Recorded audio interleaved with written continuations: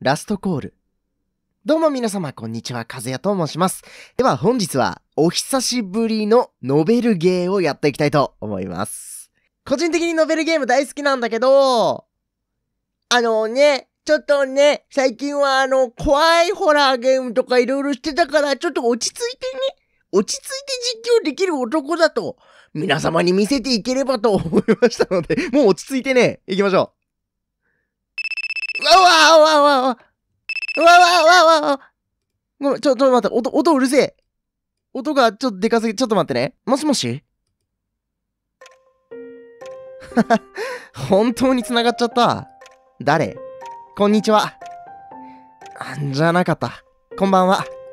誰夜中今、夜中、真夜中に電話かけてきてるちょっと迷惑も考えてほしいんだよね。俺も実況取ることがあるからさ、あの、そうやって電話かけてこられると困る時もあるんですよ。ミュートにしろよ。あ、待って。切らないでください。すみません。本題にも入りますね。はい。僕、今から死のうと思ってて。なんで？なんで、あの見ず知らずの人に電話かけたの？そんな状態で。でも、最後に誰かと話したくて。ダメ押しで適当に番号を押したら、あなたに繋がりました。あー。俺もね、子供の時にね、適当に番号を押したら誰かに繋がるかな ?090 でんでんでんでんってやったらね、本当に知らない人に繋がって、あすみませんっつってブチって切ったの。したらね、あのー次の日におかんからね、あのーあんたどっかに電話した？なんか知らん人から電話かかってきとんでって言われて、なんかすみませんとか言われて切られた言うとんで、何しとんねんお前みたいなことを言われたことあります。これもなんかの縁だと思って、少しお話をしませんか？あ、そんなに気負わないでください。慰めたり自殺を止めたりしてほしいわけじゃないんです。いや、死のうと思ってって言われてる、言われたらさ、止めようとするよね。まあ、いたずらかなと思ってブチって切っちゃう人もいるだろうけど。この電話で何を話そうと、僕は死ぬので。なんでそんな悲しいことを言うんですか？死のうなんか言わん方がええって。なんで死にたいの？話って言っても何を話せばいいんでしょうか普通の人が友達とするようなたわいもない話をしたいだけなんですが。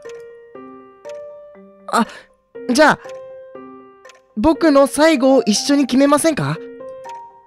どんな方法がいいですかね？そうだなじゃあ俺と一回焼肉に行くってどうかなそれであのー牛タンをね、死ぬほど食うっていうのもいいかもしれないね。うんうん。何かが満たされれば死のうと思う気持ちもなくなるかもしれないじゃん。死に方を選ぼう。飛び降り首吊り。重い。重いって何？自分で決めよう。え？ー、エンドが5個あるらしいんですけど、これだと4つだな。えー、やだよ飛び降り、まあ、俺の中では自殺もしするなら何しよう、何かなと思った時に、スカイダイビングだと思ったんだけど、スカイダイビングで後ろの人をついてくるじゃん。後ろの人も道連れになっちゃうじゃん。あ、ダメだと思って途中で。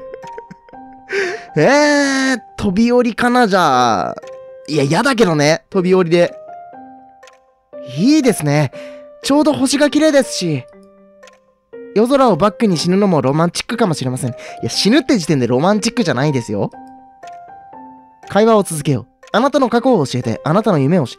でもこの子はさ、できればあのー何で死に、死のうとしてるとかは聞いてほしくないと思うんだよ。だから、あなたの夢、いや、今から死ぬ人にあなたの夢を教えてっていうのも変じゃないか？まあ、聞いてみるか。あなたの夢は？これから死のうとしてる人間に、夢って？やっぱり面白い人ですね。うーん、夢か。強いて言うなら、続きが欲しかった、ですかね。何の？これがちょっと昔だったらハンターハンターとかそういう話？んと、まあ、僕の話はいいので、これくらいで。なんで？僕はあなたのことについて知りたいです。続きが欲しかったとは。ええー、まあ、最初は、深く突っ込まずに、この子のしたいようにしてあげようか。自分のことについて話そう。自分の将来について、自分の過去について、自分の好きなものについて。自分の好きなもの？音楽とか？そういう系？自分の将来について。あっミラえ？え、めっちゃ怖いんだけど何？将来。えなんで？俺の将来ないって言いたいのかお前は。このゲームは俺に、お前に将来なんてねえんだよって言いたいのか。お？おやってやろうか。お？やろうか。やってやろうか。ふふふ えー、じゃあ自分の過去について。いやーなんでだよ俺の過去もいい語らせてくれないのか自分の好きなものについて。一択じゃねえか 三択用意する意味。好きなものを選ぼう。え？下何やんの？ゲームか。ゲームだな。ゲーム機が積まれている。うん。へえ、ゲームが好きなんですね。僕は、あんまり好きじゃないな。え？ゲームが好きじゃない人ってこの世にいるの？それにはいつか終わりが来るから。あなたはゲームのどういうところが好きなんですか？ゲームのどういうところ？現実のことを忘れられる。主人公になれる。たどり着くべきゴールが決まっている。知らないことを教えて。そんなこと考えたことない。そんなこと考えたことないんですけど。ゲームなんで好きか？楽しいからです。あー、これまたブブブブブってなんじゃないの主人公になれる。主人公になれるから。それってつまり、自分の人生よりもゲームの中のキャラクターの人生の方がいいものだと思ってるってことですか嫌な言い方しましたね。すみません。ゲームの中のキャラクターの方がいい人生。果たして、本当にそうでしょうか？なんだ？なんで俺に問いかけてきた？お前は俺にどう思わせたいの？あなたはだって人生に絶望したか何かで自殺しようとしてるんですよね。なのに、ゲームの世界の人生よりも、果たして、本当にそうでしょうか？って、現実の世界のが実はいいんだよっていう風に、あの、言ってきてるけど、それさ、逆じゃない立場？逆じゃないですか？あなたはこの先何かしたいことってありますか？えー、来月の予定とかでもいいんです。来月の予定？なんだろうね。とりあえずおせち食べることかな。僕が死んだ後の世界を死なない人たちは何をして過ごすのかなって、多分こうやってまた実況撮ってると思います。少し気になって。予定を調べよう。調べよう。カレンダーじゃない？ゲームじゃない？ゲームでしょ。あ、違う、ダメ。あなんでだよ。なんだ？なんだ？あれ決まってないんですか？ちょっと煽ってんだろ、お前。あれ？決まってないんですか？もしかして、あごめんなさい、友達少ないんでしたね。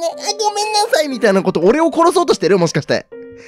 俺を自殺に追い込もうとしてる？まあみんなそんなもんですよね。僕だってそうでした。じゃあ、あなたの過去の話を聞かせてほしいです。どんな友達がいたのか、とか、どんなことを経験したとか。過去を調べよう。なんだろう。写真？写真立てだ。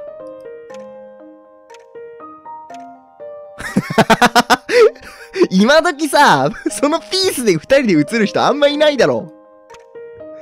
この子は、お、彼女？これは、友達？友達が思い、思い出せない？これ電話してきてる人が友達なのかな？名前がわからない。どちらか自分なのかも。なんで？記憶がないの？わからない。え？答えられるわけないですよね。将来や過去のことなんて。あなたは空っぽだ。あなたには過去も未来も何もない。だって、所詮ゲームの中のキャラクターなんて、ゲームスタートからクリアまでに必要な要求しか設定されていないんだから。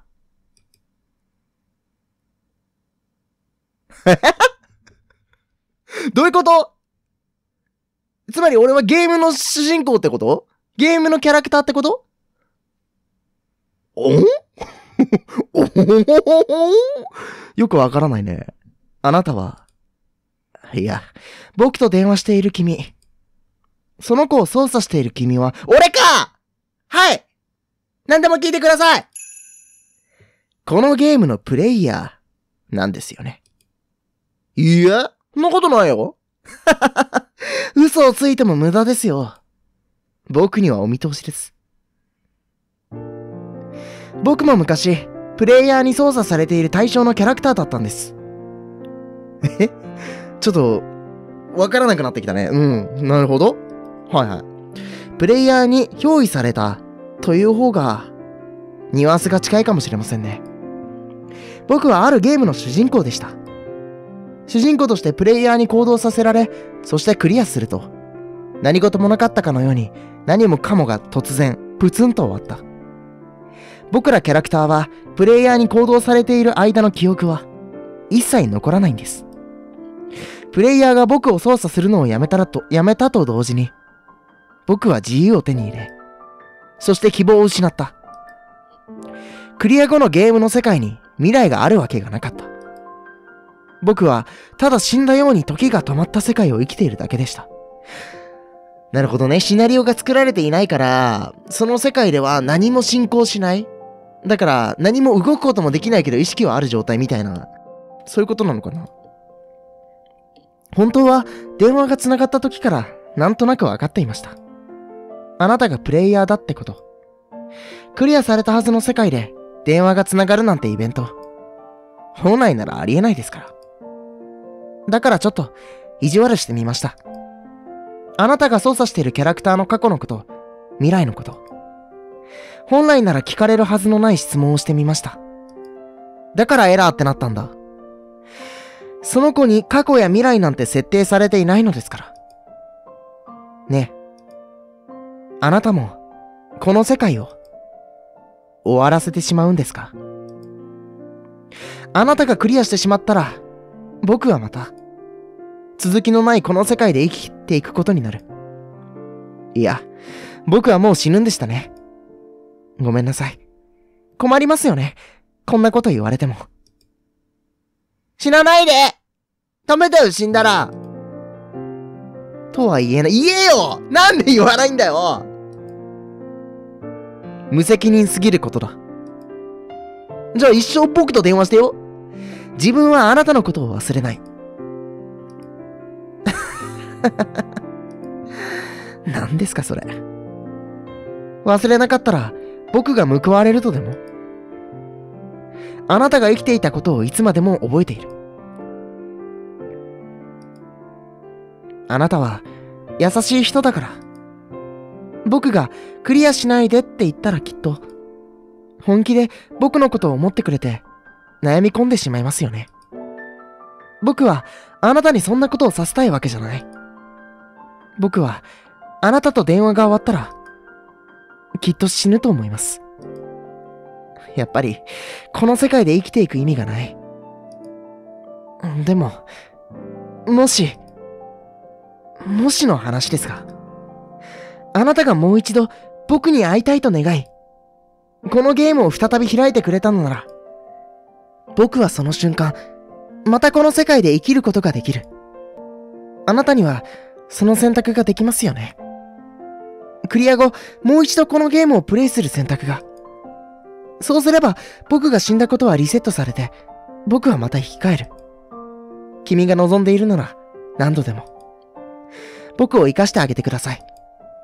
そうしたら、今度は二人で、本当のたわいもない話とやらをしましょう。僕の名前は、あの、全然、読めない。ちょっと調べてきます。シオン。僕の名前は、シオンと言います。名前、教えた方が僕のことを覚えていられるかなと思って。僕もあなたのことを覚えていたい。あなたの名前、教えてくれますか？こここは真剣、ちゃんと、ちゃんとしようね。変な名前とかつけないようにしよう。和也です。和也さんで、合ってますか？はい。和也さんって言うんだ。和也。素敵な名前ですね。そうでしょ？自分で言うのもなんだけどね、結構芸能人とかと被ってると思うんだ。うん、いい名前でしょ？和也さんとお話できて、よかった。どうか、お元気で。え？あー、なるほどね。だからゲームの世界の、その、クリアされた後の主人公なんだよね、多分シオンくんは。で、俺もその、一角に過ぎないというか、その一人なんだね、多分。あー、面白いね。ノーマルエンド。1。これがノーマルエンドなんだ。じゃ、バッドエンドとかもあるのかな？ええー、面白いね。あ、会いに行くってある。これかな？会いに行く。これで2周目か。はい。もしもし。和也さん、来てくれたんですね。覚えてるんだ。一応、一周したとしても。来てくれるって信じていました。本当に生き返ら、生き返れるものなんですね。死んだ時の感覚は、よくわからなかったって言葉が合ってるかな。まあ、飛び降りしたから一瞬なんだろうな。本当に、あっという間でした。ただ、夜風が心地よくて、最後に見えた星が泣いてしまいそうになるほど、綺麗だったことを覚えています。僕、死ぬ直前に一つ考えたんです。あなたが操作しているキャラクターと、お話できないかなって。ああ、なるほどね。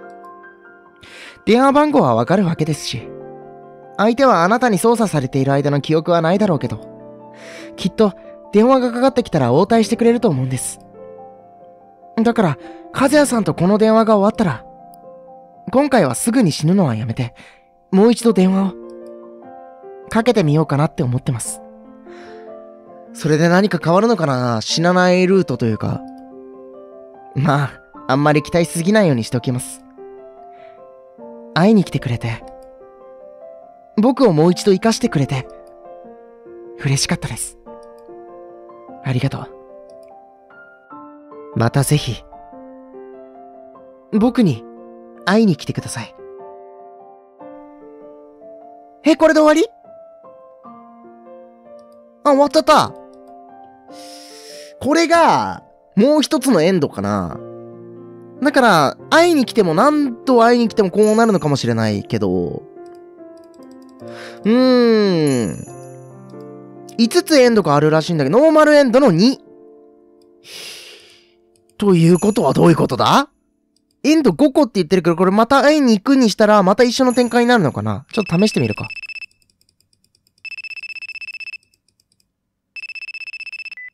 しもしもー。また会えましたね。和也さんがまたこの世界に来るまでの間、僕は和也さんが動かしていたキャラクターと、なんと、電話をすることができましたよおお誰なんだろうね なんか二人いたけど、エラーとか色々になっちゃったけど、予定のないあの子ね、ちゃんと応対、応答してくれました。してくれたんです。今君が憑依しているキャラクターは、さくらという名前の子でした。さくら。女の子かなもしあなたたちが話しすることができたのなら、きっと気が合うだろうなと思う感じの、優しい人でしたよ。まあ、俺が優しいから、そうだね。合うかもしれない。さっきは少しだけしか話せなかったので、また、さくらさんに電話をかけて、今度はもっと長い時間、いろんなお話ができたらな、と思っています。話し相手がいるのっていいですよね。誰かに自分の思いを聞いてもらう。ただそれだけで、心が救われるような気がします。僕が望んでいたのは、こういう些細なことだったのかもしれませんね。些細ですが、とても大切なこと。僕は、今なら、なんとかこの世界でも生きていける気がします。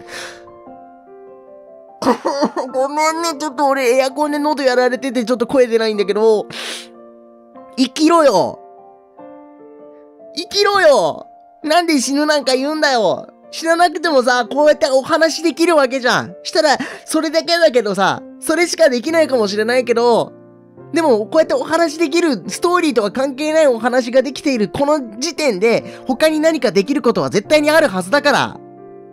だからそれを見つけようよ。死ぬとか言わないでさ。ありがとう。和也さんのおかげです。僕の言葉を否定せず、ただただまっすぐに耳を傾けてくれたことが、嬉しかったんです。和也さんのいる世界は、どんな場所ですか？えっ、ー、とね、感想がすごくて、えー、金で、えっ、ー、と、人が死んだり生きたり、あの、仲が悪くなったりする世界です。最高にクソだな。幸せな場所なのか、辛い場所なのか、苦しい場所なのか。僕には想像することしかできないけれど、和也さんには幸せに生きてほしいと、心から思ってます。そういえば、シオンの花言葉って知っていますか？うん。君を忘れない。シオンっていうお花があるのか？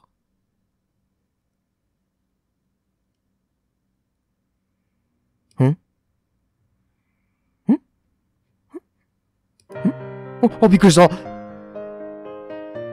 え、終わりこれがノーマルエンドの終わりってことかなへえー、面白いね。面白い。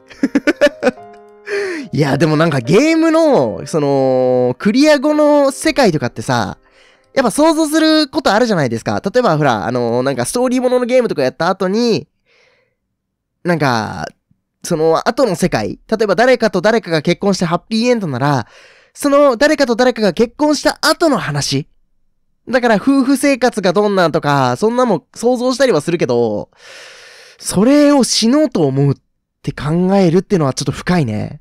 クリアおめでとうございます。ありがとうございます。あれ？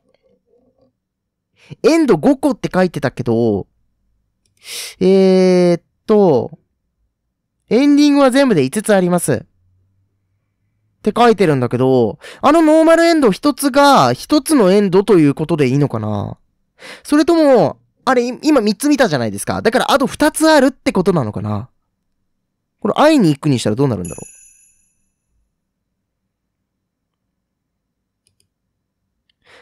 彼は前を向いたようだ。ん？え？ああ、終わり？ああ、なるほどね。このノーマルエンドでは、死なないっていう選択肢を取れたってことか。じゃあもう一周行こうか。はじめから。いや、どうなるんだ？えー、どうしようかな。重いって、いや、俺には重いよってことかな。重い。面白い人ですね。普通なら人が死ぬって言ったら壊れ物のように優しく接しそうなものなのに。え？僕も普通じゃないって？まあ、普通なら自殺の直前に見知らぬ人に電話したりしないですよね。そうだね。てか、自殺するって言ってるのに、こんなに明るく話すっていうのもね、よくわからないよね。あなたの過去、これ過去聞いてみようか。すみません。話せることは何もないです。えっと、会話続かなくなっちゃいましたね。では、僕はこれでし、なんでだよ早いよ次生まれ変わったら、もっとコミュニケーション能力を上げておきますね。付き合ってくれてありがとうございました。エンド 1! 触れられたくない過去。ええー、ええ手触れちゃダメだったこれ会いに行く。あ、ないわ。続きからにしよう。あなたの夢を教えて。これはさっきと同じだね。じゃあ別の選択肢もう一個あったと思うからそこまで飛びましょう。あ、これだ。え続きが欲しかったとは、自分のことについて話す。ここは続きが欲しかったにしようか。僕の話はいいって言ったじゃないですか。あ、ごめんなさい。そんな怒ると思わないと。はあ、すみません。ちょっと色々思い出してカッとなってしまいました。切りますね。付き合ってくださってありがとうございました。あははは。詮索すんなってか。わかったよ。詮索しないよ。許してよ。そんな怒んなくていいじゃん。自分のことについて話すか。えー、好きなものについて。で、ここだよね。多分ここも分岐点だと思うんだ。好きなものね、写真。写真立てだ。あれ？時計だ。俺は時計が好きだ。え、ゲームになるんだ。え、なんか他に選択肢あったっけ？でも待って。二つエンド見たよね、今。えー、三つエンド見て二つエンド見たってことは、これで終わりだ 終わった これで終わりだあああこっちのエンド先に見るんだった ラストコールというゲームでございました。いやー、なんかめちゃくちゃ深いゲームだったね。あの、ゲームのクリア後の世界。それは続くものではなく、もう無で終わってしまうもの。その中で主人公たちは、えー、何もない未来に絶望し、自殺を選ぼうとしてしまうというね、そういったお話でございましたが、いや、自殺は良くないよ。皆さんもね、ゲームやったことあると思うんですけれども、その今までやったゲーム、その先のお話、ちょっと想像してみてはいかがでしょうか？もしかしたらその想像するだけで、そのゲームの中の人たちは救われるのかもしれない。そう考えると幸せじゃないですか。ということで、ここまで見ていただいた方、本当にありがとうございました。また別のゲーム、別の実況でお会いいたしましょう。それでは、さようなら、バイバイ